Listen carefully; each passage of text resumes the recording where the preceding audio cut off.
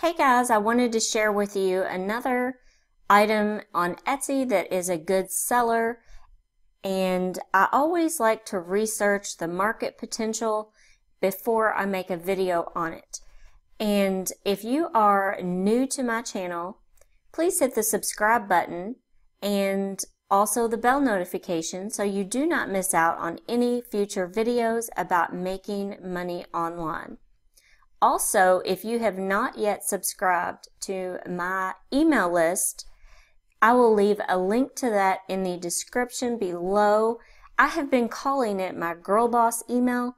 However, I started to look at the analytics and I'm getting a lot of men who are also following my channel. So I wanted to make sure that it is not strictly just Girl Boss email. I think I need to rename it something different just um, make money online with me type email. But anyway, you will get so much more out of that email.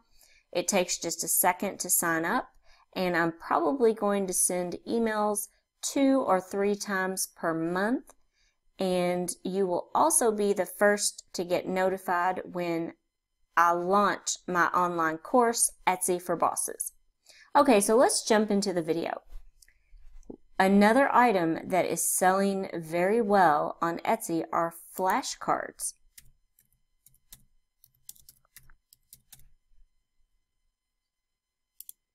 So if I just type in flashcards, we come up with all these different items right here. So they've got, you know, letters, there are words, and th there's just so many ideas here. I've even seen, yes, the moon phases, flashcards. So this is like flashcards that are for anywhere from a toddler all the way up to high school, you know, things that you can make. Um, you know, if you have someone in high school studying the periodic table, I mean, you could make flashcards on that. So these are good sellers and like this set right here, she is selling this set of flashcards for $5. So remember with instant downloads is what is so awesome about it is that you can sell the same thing over and over and over again. And also in your listing, you can also say that you can laminate these, you know, um, however they want to do it. And you can also fit a bunch of these all on one page and also recommend that they print these out on cardstock because that's what they're meant to be printed on. So um, I just wanted to share this with you and also I'm going to show you how to easily design one. So I'm going to jump over here to iPiccy.com which you all know is my favorite and I really don't know why I am paying a monthly fee for PicMonkey. I'm going to keep it because sometimes PicMonkey might have something that I need. So we're going to click on create a design. Now the standard size for a, I think of is four and a quarter by five and a half and are ready to print on eight and a half by 11 paper or cardstock. And she puts in here, I recommend using cardstock to print the cards on. Once printed, simply cut out along the white lines. And these can be laminated as well. So is what we want to do is we want to take these dimensions here, four and a quarter, 4.25 by 5.5. So is what we need to do is we are going to use ninja units. And I love this site so much because it converts inches to pixels and you can also click here if you need to convert pixels to inches. So right now, I'm going to go ahead and select my DPI right here of 300.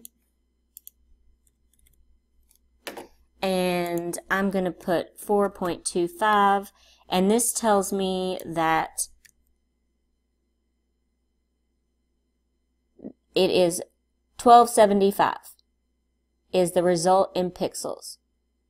So I'm going to copy this by hitting Control C and then I'm going to hop over here to the designer and I am going to put, I'm just going to paste that right here. And then I'm going to go back over here to Ninja Units and I will leave a link to this in the description below. Um, I have done that on other videos, but this is such a great, you know, site.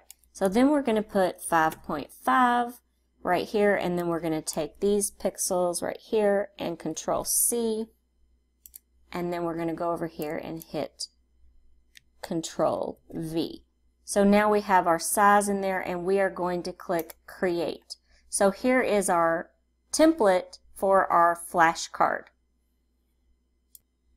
Now, you can either design this yourself by like adding clip art. You can pull this apple over here and let me make this a little bit smaller until we figure out what we're going to do with this. And then you can add your text, which is going to be A, and I highly recommend because this is flashcards, you want to make sure that this is completely legible And don't forget, on some of these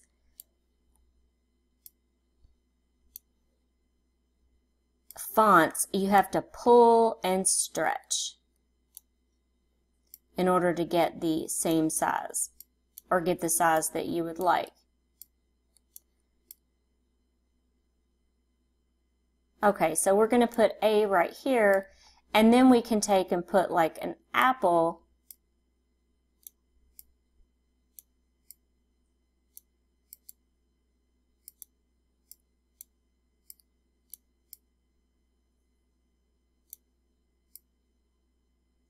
and we can kind of add this right here. And then you can also change the color of this if you would like. Um, it's just completely up to you. Since it is for kids, I would make this something colorful. Maybe go something like that, and then you have a flashcard. And then you can make this a little bit bigger.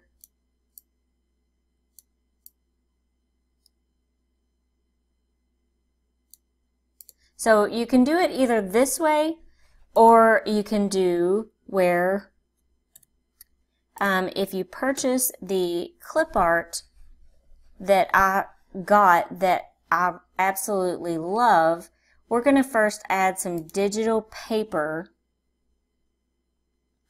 and I am going to use this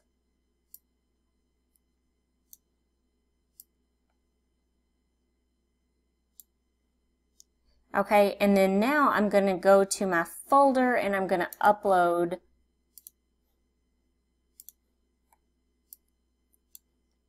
some of the clip art from my album that I have labeled kids.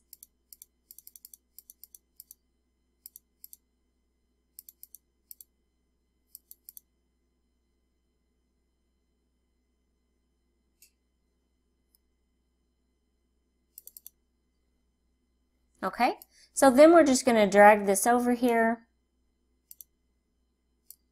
and we're going to make this bigger.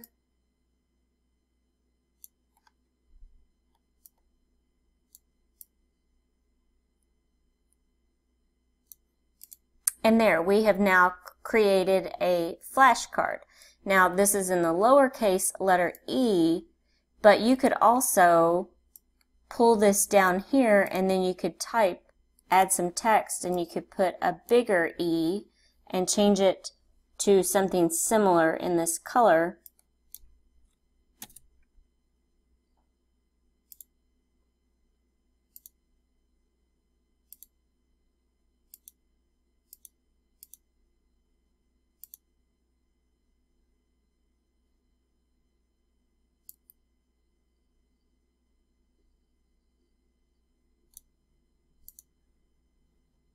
Okay, and then we also want to change our font.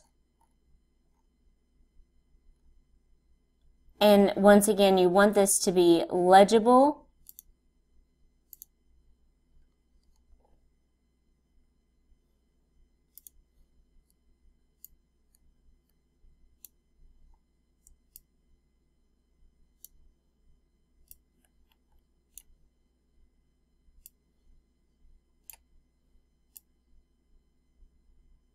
And you could put this up here at the top. So then we have our lowercase, and then we have our uppercase letter E, and then these are just cute little flashcards. So let me do one more. And let me upload. Let me try finding some paper. So I think I'm going to use this paper right here and I'm going to cover this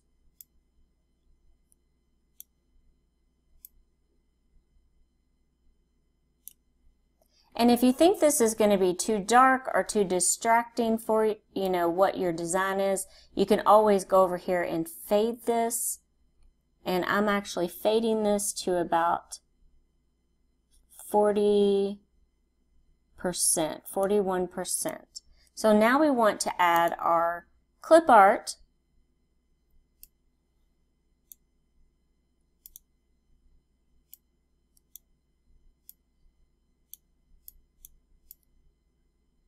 And once again, we need to add an uppercase as well. These only came in lowercase.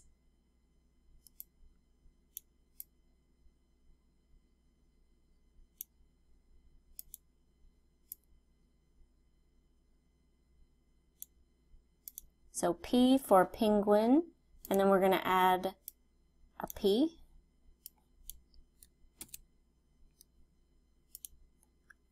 And then we're going to change our font.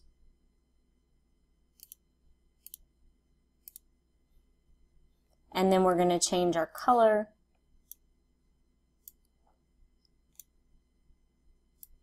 Once again, some of these fonts you have to pull and stretch.